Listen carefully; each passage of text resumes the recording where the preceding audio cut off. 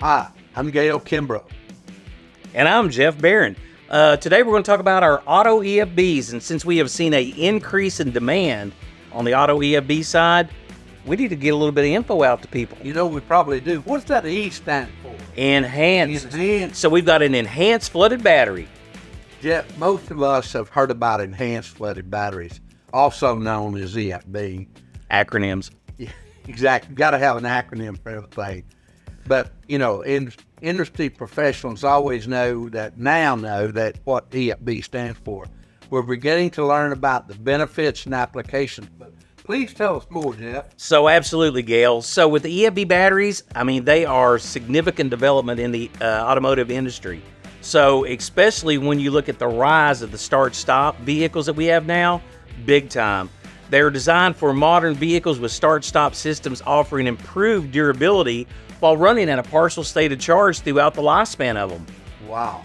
So they are essential for vehicles with start-stop systems on them. That's exactly right, Gale. So the Auto EFB plays a vital role in ensuring reliable engine starts, optimum fuel performance, and the start-stop systems are just high demand. So they also find applications in the mid-hybrid vehicles and auxiliary batteries in the hybrid and electrical cars.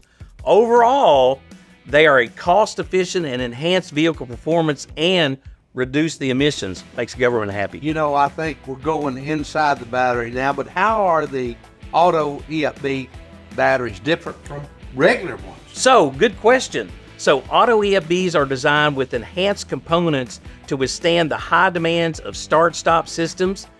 They also consist of a durable plastic case, positive and negative plates, of course, and you've got the envelopes. It's also got liquid electrolyte and a venting system that's standard for the SAE Automotive Post. Can we see what's inside an EFB battery? You know what, Gale? I'm sure we can. So, let me show you a little bit. Yeah. All right, Gale, so let's uh, talk a little about the internals of the EFB battery. Let's cut it open, buddy. Yeah, let's do it. So, what we're going to start out with, you know, and, and it could be on different manufacturers, but some have what we call the BIC caps, which are the big caps, the best in class.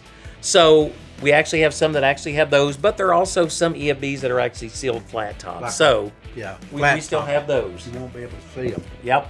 But inside, we still got to have a bunch of positive and negative plates. Yes. A little bit different design though. So, Gale, we start out with our lead grid in general, uh, and it could be an, an expanded metal or it could be a power frame design, as we call it.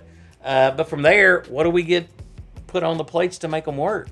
Well, we have to put a paste material, a chemical paste material, specifically designed for the EFB in this situation. And so, whether it's a negative and or positive, especially a positive paste material on the grid itself to make it a plate, to design it from being a grid that's just a metal framework to being a plate, if you will. Exactly. So from there, we've got to put one of these uh, plates in an envelope. And what that envelope is doing is sealing it from the other one because if you got a positive and negative plate touching, that's never a good thing. So that's, a short. direct short. Exactly. so batteries don't work when they're No. shorted. Not at all. Well, they do, but they do what we call a rapid disassembly. Absolutely. They come apart really quick. Yeah, we don't we don't need that. Yeah, we don't need that. So we've got kind of a combination of sponge lead on the negative and a lead dioxide on the positive side. But with these EFB, there's a little bit more chemistry that's uh, taking place with these batteries. So this makes these batteries work at a partial state of charge throughout the lifespan of them. And that high density positive paste material that you're referring to is a slightly different integration of chemical active material than you would in a flooded battery. It's enhanced, that's why it gets its name. Yep. Well, and there's another feature that we, we do with this battery as well, Gale. On the positive plate, we always put what we call a scrim. It's a mesh. So what this is doing is, while it's wet and it's going into the curing process, this is actually bonding that paste material even more to that grid. Oh, that's great. So what that does, and of course it helps us whenever we're doing discharge and recharges. Yeah. It keeps that paste material from actually shedding. So we get a longer life. A lot and- more cycles. Oh, exactly. And the cycle life is just unbelievable. So now these start stop vehicles, I mean, this plays a major role in making these things last uh, throughout the life that we need them to. Yeah, every time you come to a stop and it, the vehicle shuts down, it's got to restart, so it needs that that that cranking power, but it needs that cycle life, Yeah. enhanced cycle life. So it. when you're looking and feeling these things, when you're out on the on the road and you come to a stop sign, you really can't feel that engine shut off because everything else is still running, taken care of by the battery. What makes them more durable and reliable?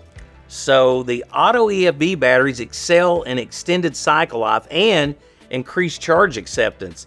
So they can actually endure more of the discharge cycles with slower degradation, making them ideal for the vehicles with the start stop system.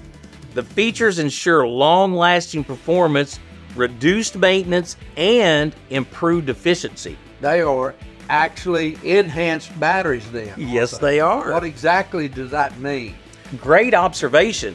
So, the enhanced part of the EFB battery refers to their specific design and technology. So, let me break it down for you. So, the enhanced durability of the EFB batteries have thicker and more robust plates than conventional batteries. This construction allows for them to handle frequent charge and discharge cycles associated with these start stop systems. So, leading to a longer lifespan and reduced risk of premature failures. We also throw in now, Gale, the design for the start stop systems with the batteries where they're specifically engineered to meet those high demands of the start stop systems. So, with the start stop technology, the engine shuts down when the vehicle comes to a stop and it restarts once you take your foot off the brake pedal. So, the enhanced batteries deliver reliable performance and optimal power during these demanding conditions. So these auto EFB batteries are tailor made for start stop systems to ensure reliability and efficiency. That is correct. And they're a perfect fit for vehicles with start stop technology, ensuring reliable engine starts, efficient energy management, and the ability, guess what? To handle all the vehicle electrical systems. That's a huge plus. So ultimately, you're improving the fuel economy and reducing the emissions. Makes the government happy. Absolutely. We need that. Oh, yeah. Are there any limitations to using the EFB batteries to hit different vehicles? Yes. So following the OE, which is the original equipment recommendations, is crucial when you're making these decisions to put either AGM or EFB. Batteries are not interchangeable in every system due to this different electrical characteristics, which they call it the BMS, the battery monitoring system. So if you're using the wrong battery within those applications, that can lead to compatibility issues and reduce performance. And in some cases, it could even void the warranties. We that's, something we not want to stay away from. Yes.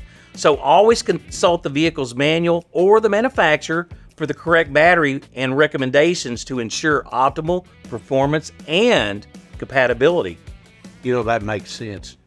So it's essential to use the correct battery for each vehicle. Absolutely. Now, let me share some of the industry insights with you.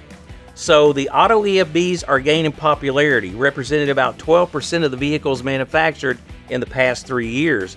The share is forecasted to grow to 20% over the next five years, especially in the European and Asian car markets. So, start stop technology is here to stay. That's a significant growth rate.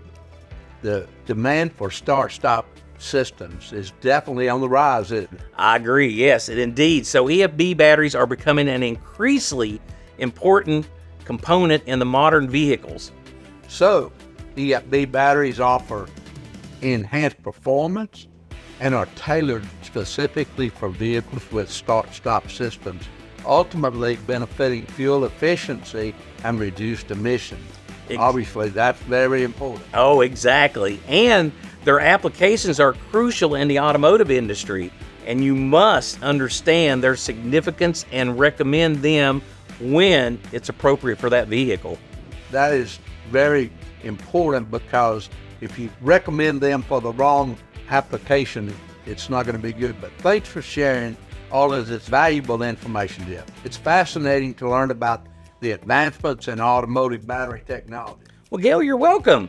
So, providing relevant information about the EFB batteries helps you make an informed decision benefiting the customers and the environment. You know, that's great. I, I really enjoyed learning more about the enhancements and advancements that we have. Hey, we're just building better batteries. That's what we're doing. And again, thank all of you out there for being here today. And Jeff, where, how can they learn more about it? Well, if you love the content, please let us know your feedback. Also, if you have questions, reach out to the Pro Clinics at ibsa.com. Thank you guys.